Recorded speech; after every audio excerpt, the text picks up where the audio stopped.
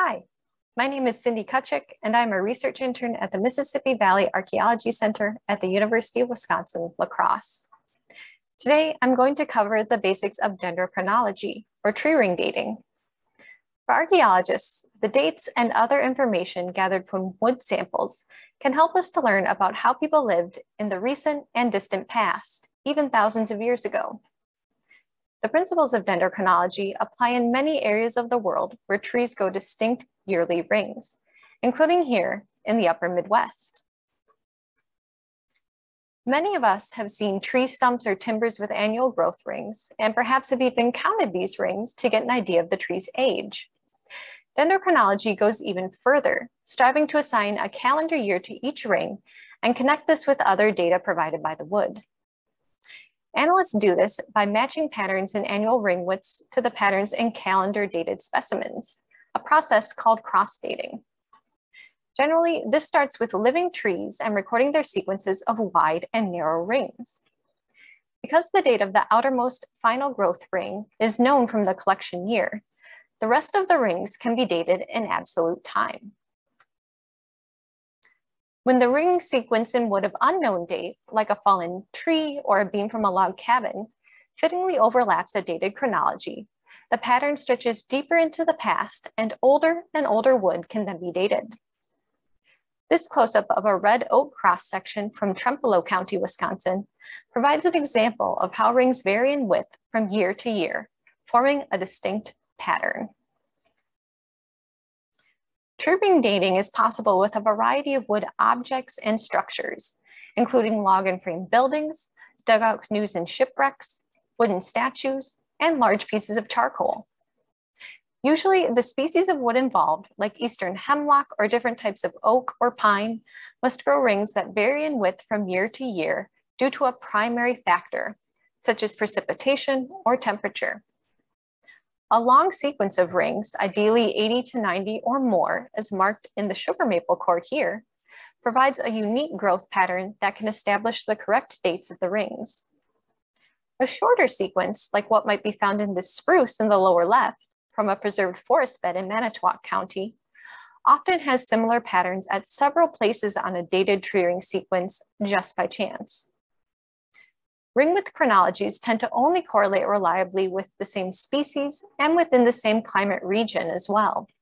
So a lack of reference data for particular species in the right time period and area can limit dating possibilities. Dendrochronological dates provide useful information in and of themselves, but they can also be considered with other lines of dating evidence, such as radiocarbon dates or dates derived from historical documents, architectural styles, artifacts of known date range or manufacturing date, and soil strata.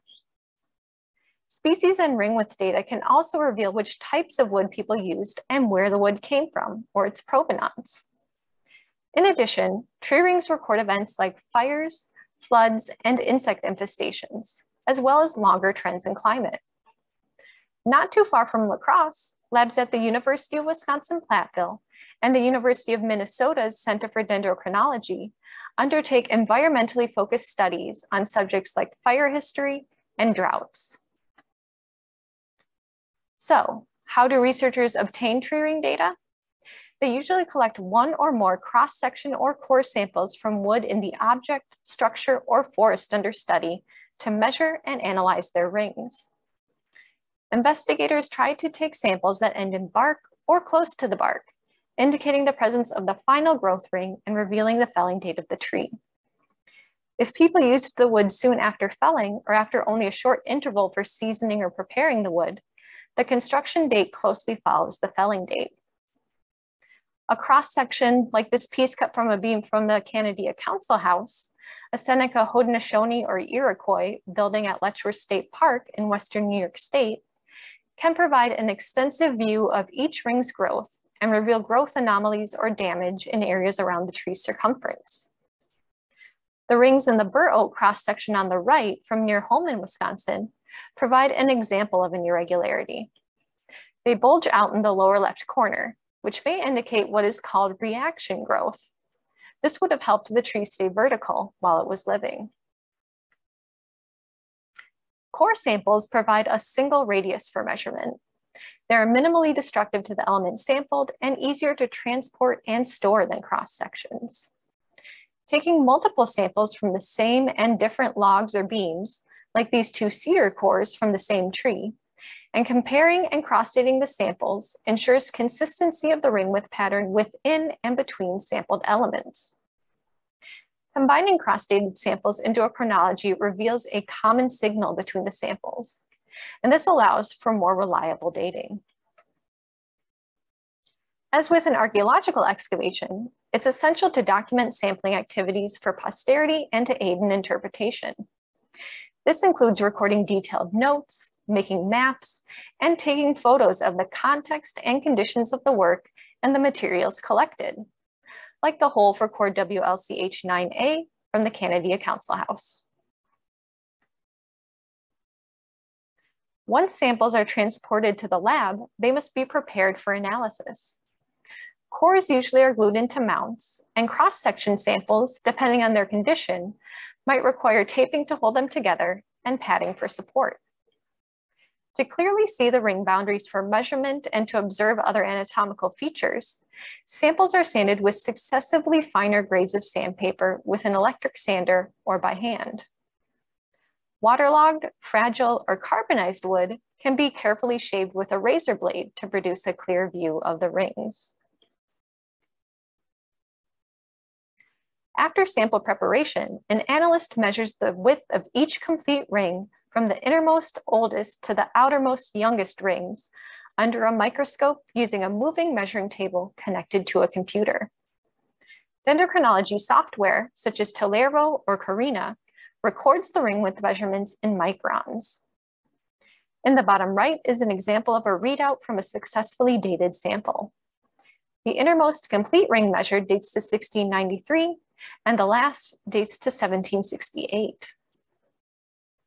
After sample ring widths are recorded, the data can be standardized with software to account for growth trends in individual trees. This makes it easier to compare samples from different trees. The standardized sequences are then compared and relatively dated to one another when they show significantly matching growth patterns. Once correlated with one another, Individual samples can be averaged into a multi-component master chronology to compare externally with different sites and regional compilations. Individual tree ring labs maintain data sets, and one public source for external data is the International Tree Ring Data Bank, or ITRDB, run by NOAA, the National Oceanic and Atmospheric Administration. It curates vetted tree ring data from a variety of species and time periods including from Wisconsin and New York, where one can find the Caneadea Council House and a variety of other historical buildings that institutions like the Cornell Tree Ring Laboratory at Cornell University have dated. Specialized software can analyze the ring with data and suggest the likeliest fit against securely dated chronologies. However, visual comparison of the line graphs of the chronologies with the ring widths plotted against the year is also key. Statistical calculations, such as the correlation coefficient R, are used to gauge potential matches. Supplied with a calendar dated master chronology, a researcher can then apply the dates for the master and component samples to research questions and form interpretations. If the samples end with bark or a waney edge with only the bark missing, they can speak to tree felling dates. Even if that is not the case, they can provide a terminus post-quem, date after which it was felled. It is also important to consider what the samples represent and how they relate to one another. For example, the dates of samples from different areas of a house might indicate multiple building or renovation episodes, or the context and condition of the samples might suggest that they were reused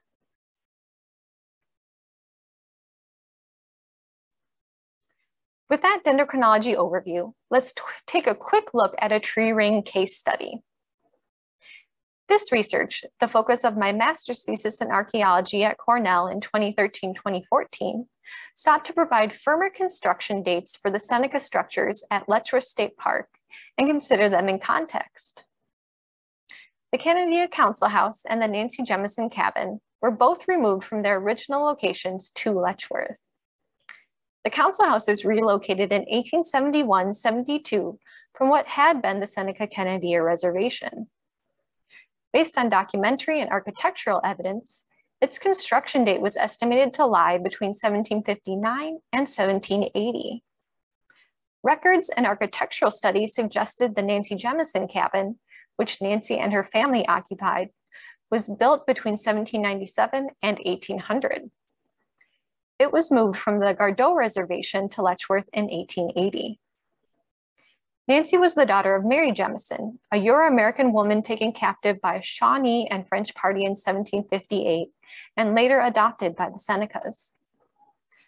With guidance and support from staff at the Cornell Tree Ring Laboratory, Letchworth State Park personnel, and others who had researched the council house and cabin previously, as well as permission from Mary Jemison's Seneca descendants, we successfully took 13 cores and cross sections from the two structures. Most of these samples were Eastern white pine and thus potentially datable with one another and existing chronologies. Once analyzed, they revealed some interesting dates. This line graph displays the white pine master chronologies from the council house and the cabin. The solid line in the graph is a multi-site compilation of white pines from central New York State. The patterns in each chronology, with peaks at wide rings and valleys at narrow rings, generally follow one another and provide visual confirmation of the dating, with the Council House chronology stretching from 1675 to 1830 and the Nancy Jemison cabin chronology from 1711 to 1806. For the Caneadea Council House, the dendrochronological dates place its construction quite a bit later than the estimate of 1759 to 1780. One group of seven samples within the chronology clustered around 1820, as seen in the red bars in the graph. This is likely close to the original date of construction, as these samples come from different logs, likely aren't replacements, and a few have a waney edge. This does not necessarily contradict the historical accounts of a council house at Caneadea. Rather, the council house standing now could be a later version. The second cluster of three samples ending around 1831, factoring in an incomplete unmeasured outer ring, could come from later renovations by a Euro-American man named Joel Seaton. He owned the property on which the council house stood after the Senecas left the area. The Nancy Jemison cabin samples, here in green, more closely align with the estimated building date, probably shortly after 1807, accounting for unmeasured incomplete outer rings. The 1883 beam, an eastern hemlock, most likely comes from renovation with the cabin's relocation to Letchworth. The WLBT sample in blue, an oak, is from a dismantled cabin the park now cares for that once was owned by Thomas Buffalo Tom Jemison, a grandson of Mary Jemison. However, because we recovered only one measurable sample, it was not possible to firmly date it. This dendrochronological evidence also fits with the construction methods and architectural characteristics of the buildings. These show a mix of traditional Haudenosaunee longhouse traits and European-derived log housing features, such as half-dovetailed and V-notched corners. This in turn ties into the broader context of Seneca's settlement and housing at the time, with threats to land holdings such as increased Euro-American incursion and the establishment of reservations, restricting movement and factoring into Seneca decision-making and construction choices. Thus, the Seneca structures at Letchworth State Park provide a great example of how dendrochronology can illuminate the past and serve a valuable role in archaeological and historical research. Many thanks to everyone who played a part in the research highlighted today. And thank you for watching. If you want to find out more about archaeological topics, please see MVAC's website and the resources listed in the description box.